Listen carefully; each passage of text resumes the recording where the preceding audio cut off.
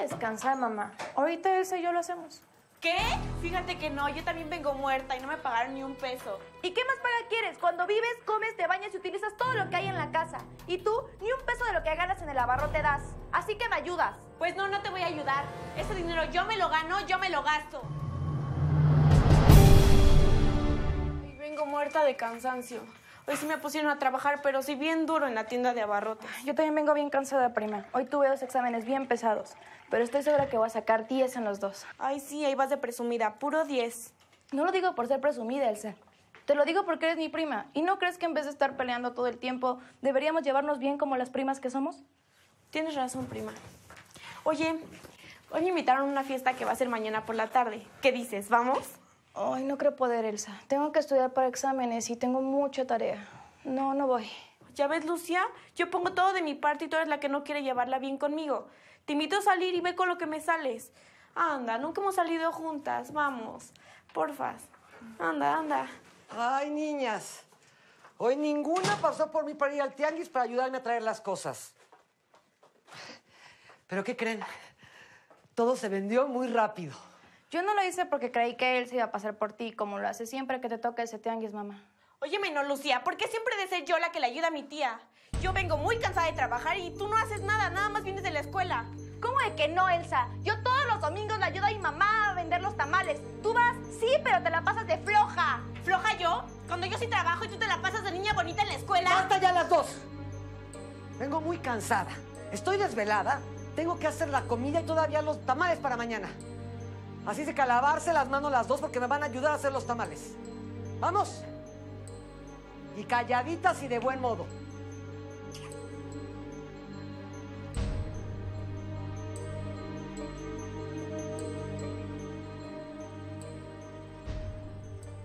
Ay, qué bonitos aretes, hija. ¿Verdad que están muy bonitos? Sí, no te los había visto. ¿Son nuevos? Sí, tía, me los regaló Pancho, mi novio. Oye, y se miran finos, ¿eh? Le han de haber costado una fortuna a Pancho, ¿eh? Sí, y ya no tarda en llegar por mí, así que voy a salir un rato. ¿Y tú? ¿Qué te pasa? ¿Te lo has pasado mensajeándote toda la tarde quién sabe con quién? Con mis amigas de la secu. Ay, sí. Ahora los chavos se llaman amigas, ¿no? Muy mosca muerta, pero has de ser, pero sí bien libertina, prima. Ay, ahí se ven que me voy a poner guapa para mi noviecito. Yo no soy libertina. No digas esas cosas, Elsa. Ni siquiera tengo novio. Lo dije en broma.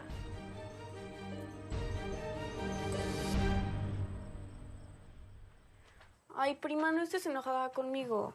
Lo que dije delante de mi tía fue en broma. Discúlpame, ¿sí? ¿Por qué lo haces? ¿Me odias? ¿Me tienes coraje? ¿O por qué? Ay, prima, ¿qué cosas dices? No te odio, eres mi prima y te quiero. Y mira, para hacer las paces vamos mañana a la fiesta que me invitaron. Se va a poner padrísima. No, Elsa, de verdad no puedo. Tengo mucho que estudiar. Me gustaría mucho salir contigo. Vamos, ¿sí? No, Elsa. Mejor otro día vamos a la plaza o al cine, ¿va? ¿Lo ves? Yo pongo todo de mi parte para llevarme bien contigo. Y tú haces todo lo contrario. ¿Lo ves?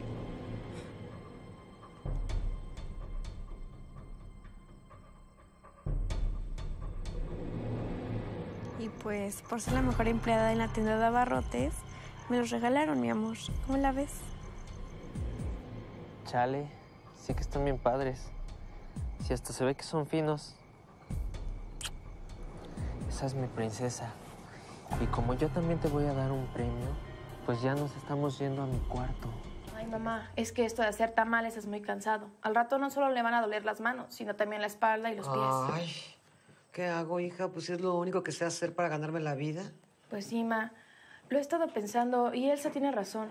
Yo debería de trabajar por las tardes. Vaya, hasta que en algo tengo razón. Porque aquí tú eres la única que no trabaja. ¿Y tú? Trabajas y ganas dinero. Y no eres buena para dar un centavo para los gastos de esta casa. Ay, tía, ya va a empezar. Si apenas me alcanza para los peceros y quiere que les dé, pues no.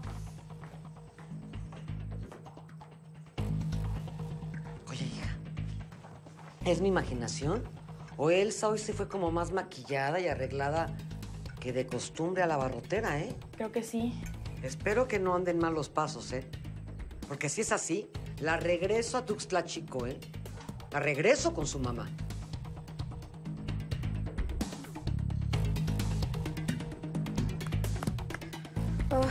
Ahora sí ya no sirve mi celular. No puede ser.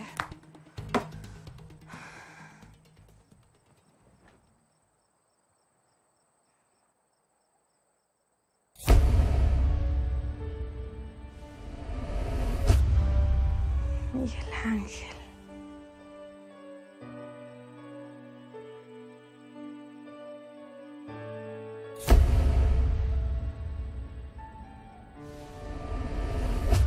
Lucía. Lucía. Vengo muerta. Y me siento muy mal y todavía hay que hacer los tamales para la venta de mañana. Vete a descansar, mamá. Ahorita Elsa y yo lo hacemos. ¿Qué? Fíjate que no, yo también vengo muerta y no me pagaron ni un peso. ¿Y qué más paga quieres? Cuando vives, comes, te bañas y utilizas todo lo que hay en la casa. Y tú, ni un peso de lo que ganas en el abarrote das. Así que me ayudas. Pues no, no te voy a ayudar. Ese dinero yo me lo gano, yo me lo gasto. Ya me están dando ganas de regresarte a Tuxtla, chico. El has cambiado mucho. Y lo peor del caso es que no te llevas bien con Lucía. Así es de que creo que lo mejor es que te regreses con tu mamá. Pues, ¿qué creen? No lo voy a hacer. Y ahí se ven que me voy a dormir.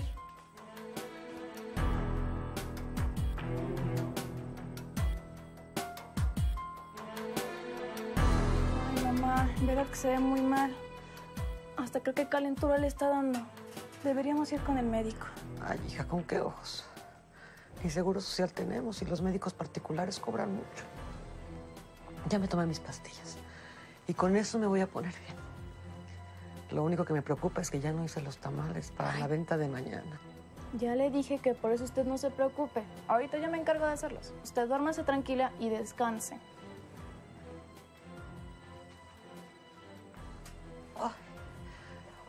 Te quiero mucho, hija.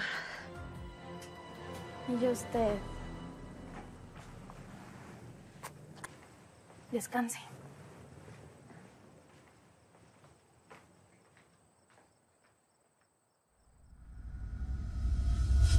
Tía cada día está más enferma. Y yo no las estoy apoyando en nada para que se la vean más difíciles y Lucía caiga redondita con usted. Sí, a ella la quiero solo para mí. Oye, ¿quién es el tal Miguel Ángel? Es un riquillo que anda detrás de ella. Esa florecita solo va a ser mía. Mía y de nadie más, ¿eh? Salud.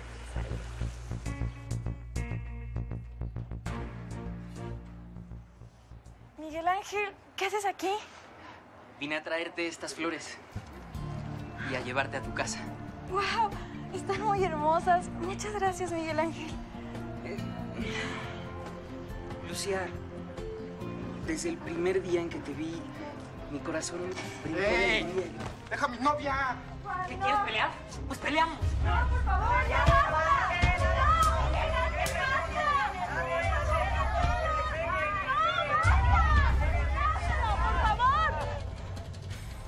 dejas en paz a Lucía. ¿Te quedó claro? Vete, lárgate, ándale. Mira nada más cómo te dejo el labio, todo sangrado. Estoy tan apenada contigo, Miguel Ángel. Solo viniste a que ese vago de Juan te buscara pleito. No pensemos en la pelea, Lucía. Yo no vine para eso. Yo no creía en el amor a primera vista hasta que te conocí. Lucía, ¿quieres ser mi novia? Pero, Miguel Ángel, ¿cómo me pides ser tu novia cuando no nos hemos tratado, no hemos salido, no nos conocemos? ¿Para qué hacer esperar al destino cuando tú eres mi destino? ¿O vas a negar que sientes lo mismo que yo siento por ti? Sí, no te lo puedo negar. Si al sentir un millón de mariposas dentro de mí, cada vez que te veo es amor, entonces sí, te amo. Y te amo mucho. Sí, sí quiero ser tu novia.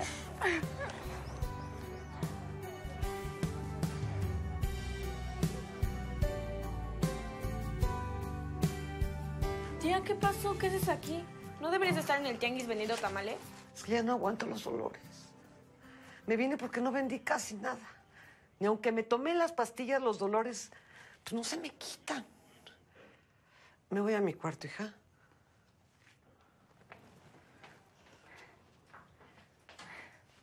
¿Y ahora tú? ¿Por qué traes esa sonrisa de oreja Ay, oreja? prima, no sabes.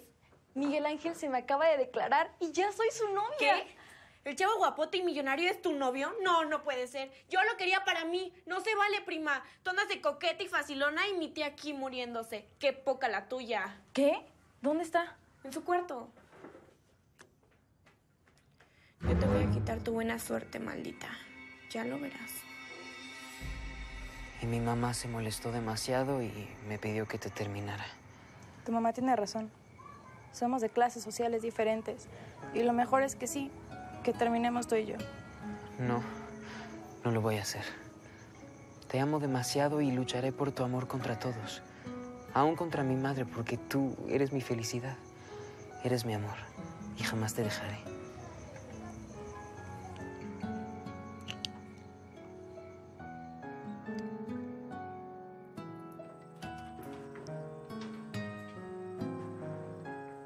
Ay, Virgencita, por favor ayúdame.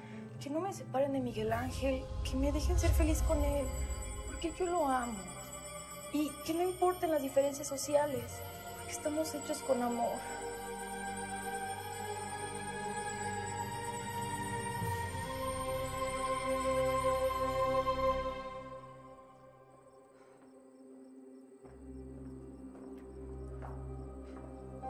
¿Y esta rosa? Acabo de pasar por aquí y no estaba.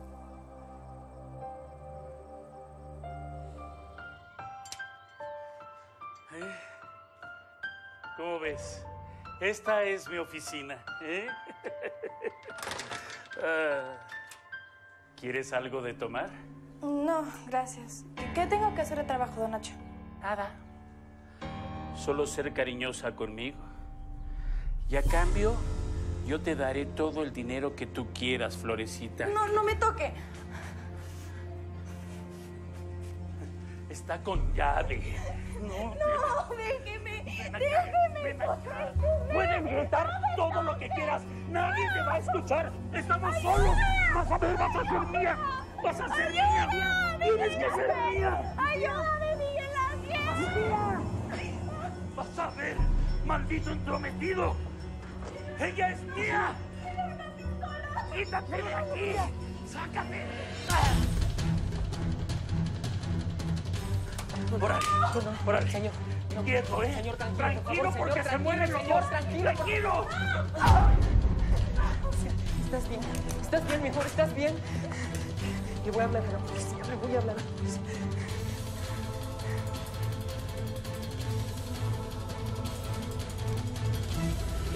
Tengo algo que decirles. No voy a andar a escondidas, mamá. Les presento a mi novia. No voy a permitir que andes de novio con una tamalera. Así que la terminas. ¿Y por qué no, Esmeralda? ¿Acaso ya se te olvidó que mis padres eran taqueros? Y así me aceptaste. Y aquí seguimos juntos llamándonos. Pero ahora es diferente. Yo nunca te puse un pero, ¿o sí? No, jamás. Entonces no lo hagas. No sabía que discriminabas. No, no lo hago. Ay, Bueno, está bien, está bien, hijo. Sí pueden andar.